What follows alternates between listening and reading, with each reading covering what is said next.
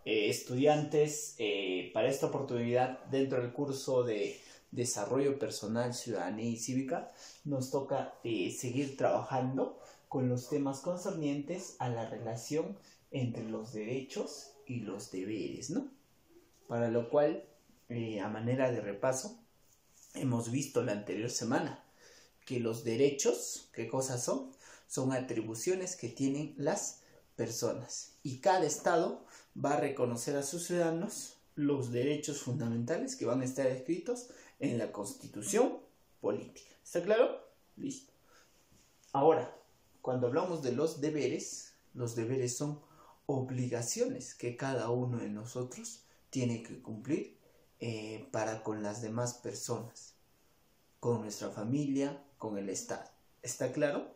Listo. Tomando en cuenta esto, el día de hoy nos dice la relación y vamos a partir eh, específicamente con esto. Se dice que a cada deber le corresponde un derecho.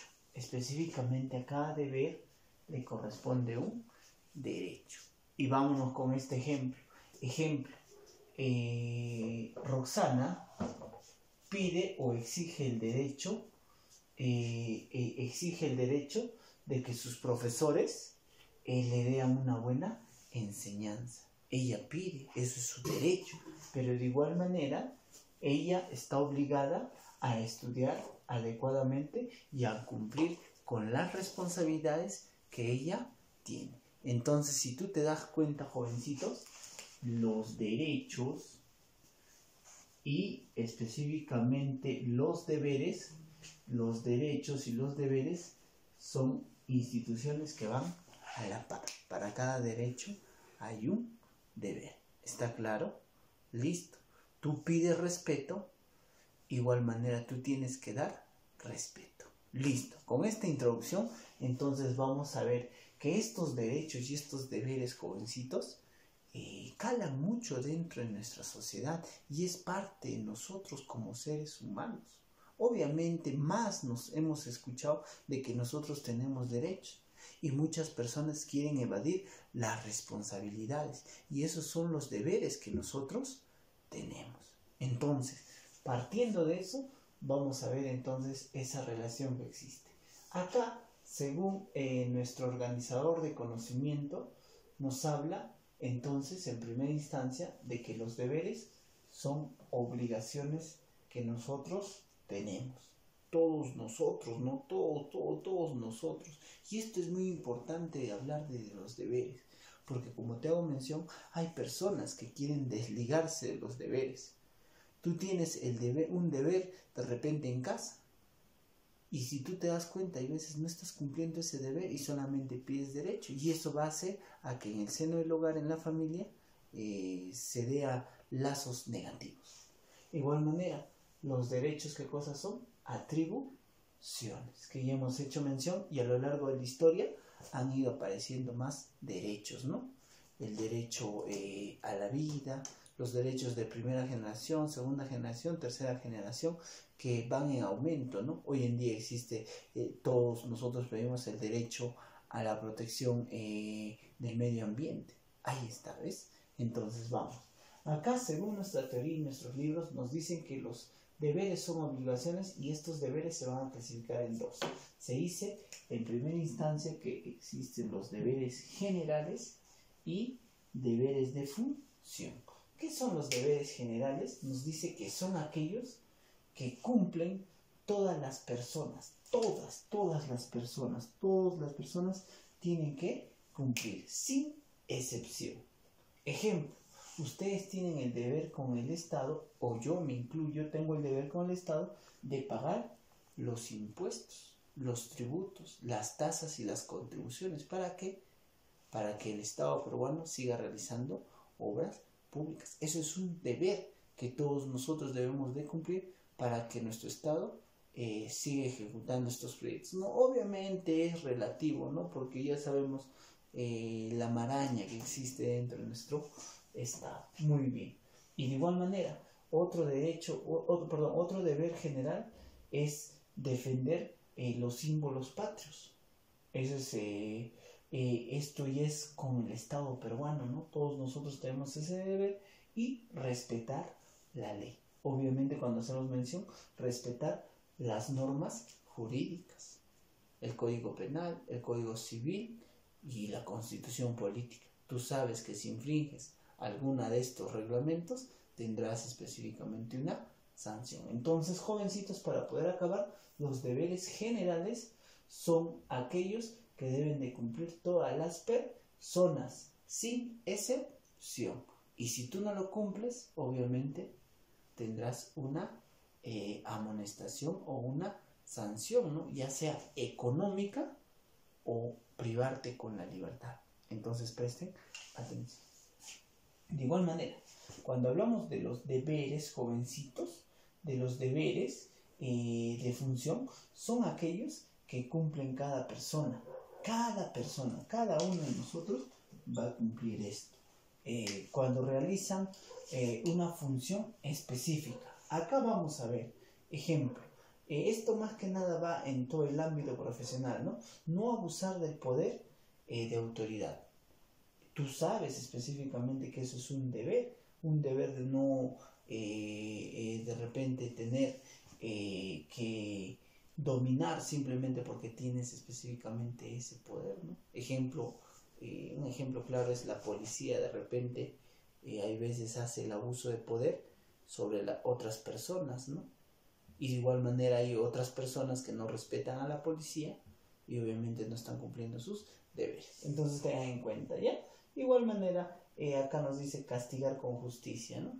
Obviamente eso es un deber que eh, ya las instituciones jurídicas deben específicamente ejecutar, ¿no? Castigar como debe de ser, ¿no? Es un deber que deben de tener las personas. Muy bien, entonces los deberes son las obligaciones. Ahora, cuando hablamos de los derechos, cuando hablamos de los derechos, se clasifican también en dos. Acá tenemos a los derechos fundamentales. Es más, cuando hablamos de los derechos fundamentales en nuestra constitución política está en el artículo 2. Entonces, los derechos fundamentales, como nos dice acá en la teoría, son aquellos que no pueden faltar en el ser humano. Y una de las características de los derechos humanos es que los derechos humanos son inherentes al hombre. Y esto hace a que el hombre, por ser una persona humana, posea dignidad. Y si posee dignidad, el Estado y la sociedad le tienen que reconocer estos derechos fundamentales. Los derechos fundamentales eh, son los derechos eh, de primera generación, los derechos civiles y los derechos políticos. Y de estos derechos eh, van a surgir los demás derechos. Ejemplo, dentro de ello tenemos el derecho a la vida, el derecho a la libertad y a la propiedad. Estos derechos son, como su mismo nombre dice, fundamentales y todo Estado y toda sociedad tiene que garantizar. De igual manera, acá tenemos los derechos derivados, como su mismo nombre dice, van a derivar de los derechos fundamentales. Y si agarramos un poco de teoría, estos derechos se van a ubicar en los derechos de segunda y tercera generación, que lo que busca ya no es solamente la protección individual, sino la protección de un grupo social, sino la protección de todo un planeta. Ejemplo, cuando te hablo de la protección o el cuidado del medio ambiente, y estamos hablando de estos derechos derivados, que sí o sí están dentro de estos derechos fundamentales. Dentro de esos derechos derivados que vamos a tener, el derecho a la educación, el derecho a la prosperidad, el derecho al bienestar, el derecho a una recreación. Entonces, jovencitos, esto es una clasificación que nos hace sobre los derechos y de igual manera tomando en cuenta primera, segunda y tercera generación.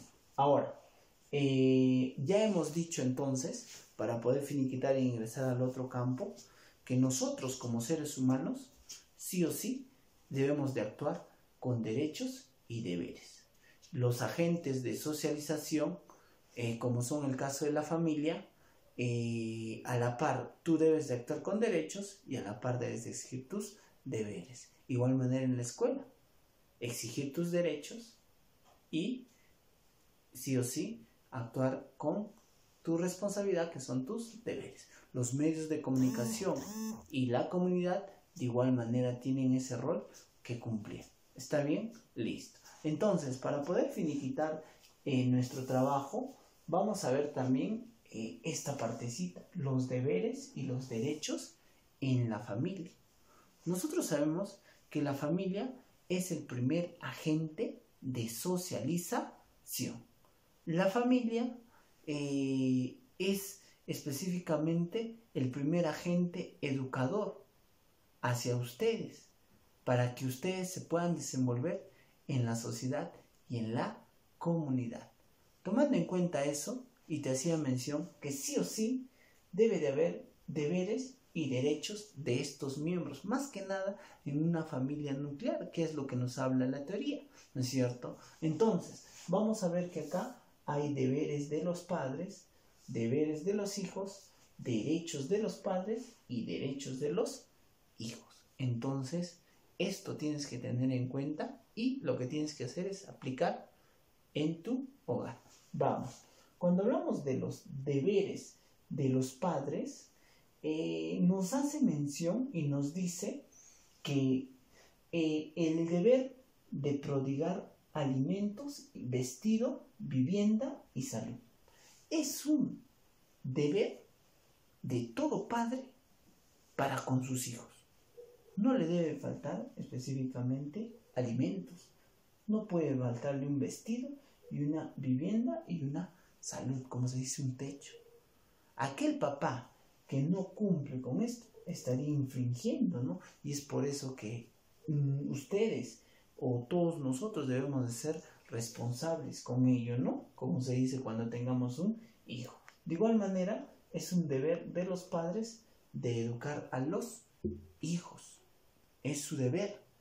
No, no es que puede decir yo no quiero es un deber que ellos tienen. Y de igual manera, es un deber de brindar afecto y seguridad.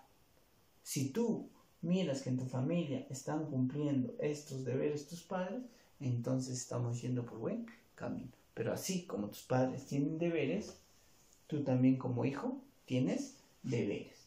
¿Qué deberes tenemos específicamente acá? Eh, muy importante, honrar a los padres. Tú tienes específicamente el deber de honrar, específicamente acá, de respetar a tus padres, a las decisiones que ellos puedan tomar mientras tú te encuentres en la patria potestad o en la tutela de ellos de igual manera de asistirlos. Eh, cuando ellos ya sean ancianos, tú tienes eh, ese deber de asistir, cuidarlos, de acuerdo a las enfermedades o a la ancianidad, y de igual manera de guardar memoria o recuerdo sobre tus padres. Esos son tus deberes como hijo. ¿Está bien? Entonces, ahora nos toca ver sobre los derechos que tienen los padres y los derechos que tienen los hijos. No te olvides que los derechos son atribuciones que van a tener.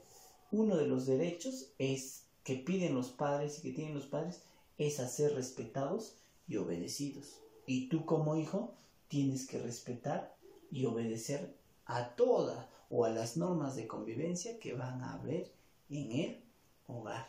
Ten en cuenta.